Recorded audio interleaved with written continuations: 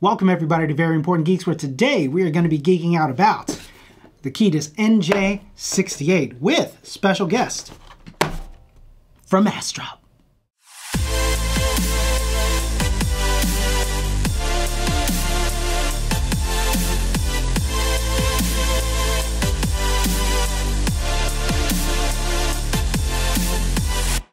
So this review is going to be more like a first impressions review. I haven't had it for that long. I've only had it for about a week now and I've used it for work, for casual surfing the internet, so take that with a grain of salt.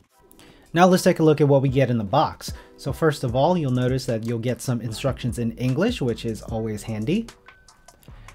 You get the keyboard itself wrapped in plastic, and as you can see, I got the black colorway there. Further inside the box, you'll find an all-metal keycap puller, USB-C to USB-A cable, instructions in Mandarin, a switch puller, and a cable tie. And you'll notice that there is a lack of extra Mac keys, which I'll get to in a second. Now let's take a look at the Drop Skylight keycap series. I got the 108 key version in the Valiant colorway. It comes in two trays, and the first tray is going to have all of your main keyboard keys, and the second tray is going to have your extra function keys.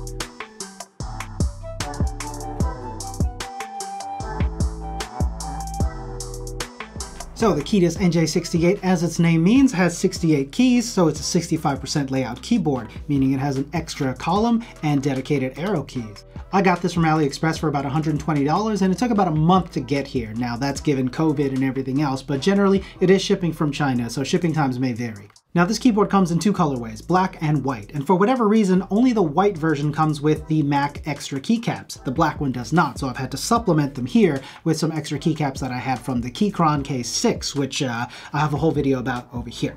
Now, I don't know why Keydous does this. I don't think there's any reason that colorway should be the deciding factor of whether or not you get the extra keycaps. It's not like everybody who owns a Mac just wants a white keycap set and white keyboard. I know I don't, but um, very weird decision still. The keycaps that it does come with are OEM profile and they're sub PBT, so they're not going to be like ABS and get oily and slick over time, and they're going to have a little bit of texture to them. Even though I did get the RGB backlit version of the keyboard, the keycaps that it comes with are not backlit, they're not see-through, so no light is going to shine out of those legends. And that's also going to be true if you get the white colorway. Now the extra keycaps that they do give you are going to be orange in color, and from what I read and what I can see online, the RGB light actually bleeds through the orange keycap material on the sides a bit in an undesirable kind of way. The NJ68 is hot swappable and programmable, and I got this with just the stock Kailh Browns. Although because it is hot swappable, you can use any switch you want. It supports 3 and 5 pin configurations.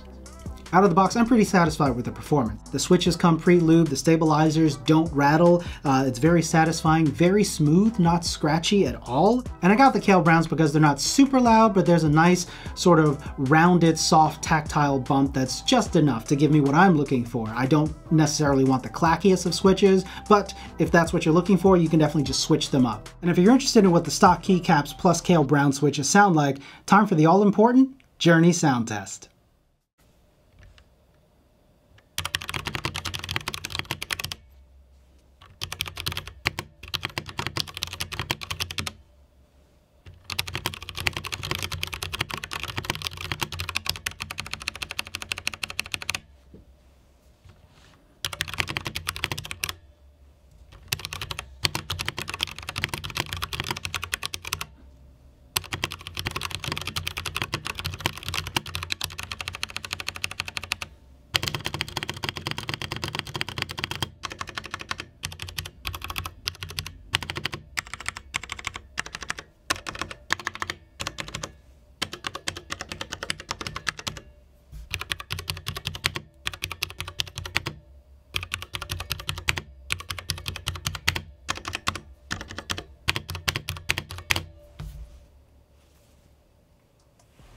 The case itself is just going to be ABS plastic, but it does seem like it's one piece except for the back here, which you can pop off.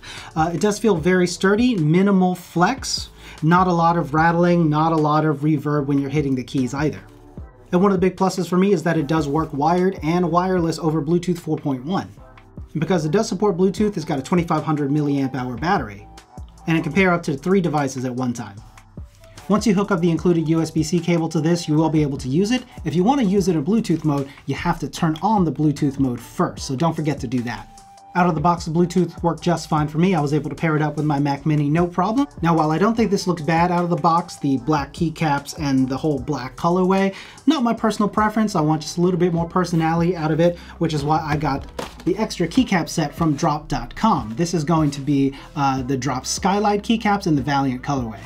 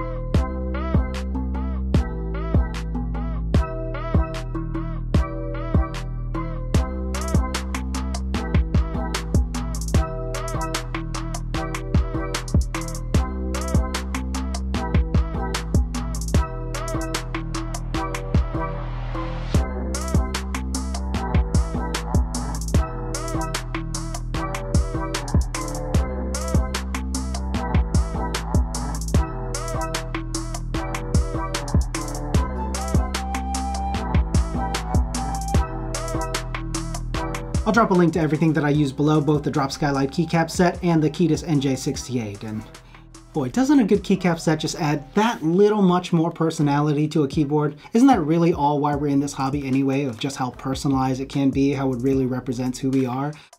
I mean, this keyboard is basically me, a little bit of a Frankenstein and red and black. Like, who? So, first impressions. 65% is my sweet spot for keyboards. Love the dedicated arrow keys, love that it's Bluetooth, love that it's Mac compatible. Don't like that the keycaps for the Mac don't come in the black version and only the white version. I see no reason why that needs to be the case, so Keydous, maybe something to think about. Now because it is RGB lit and if you do want to support Mac, finding a keycap set that'll work might be a little difficult, but not impossible. Um, even if you have to like mix them up a little bit, that's probably okay. Now compared to the RGB lights on the other keyboards that I have, the Keychron K6, the Ducky 12 SF RGB, the animation is not as smooth on the NJ68. It does have an obvious stutter to it. Not too bad, but you can definitely notice a difference between the two. Uh, it's not something that would be a no-go for me, just something to keep in mind. I would have liked to have seen an aluminum case, but this ABS plastic isn't bad at all. Another thing that I wish it did, instead of the switch being on the bottom, I wish it were on the side. It's a very minor annoyance, but annoyance nonetheless if I'm picking it up all the time and switching it off just to conserve battery. For $120, I think it's a very reasonable price. It's not the cheapest that you can get in this segment, but you are talking about RGB backlighting, you're talking about hot swaps, uh, you're talking about Bluetooth, and you're talking about Mac compatibility, so definitely not bad. Thank you guys so much for watching the video. Let me know in the comments what you think. A like and a sub is always appreciated and consider supporting me on Patreon. And until next time, geek out. Just a small town girl living in a lonely world. She took the midnight train going anywhere.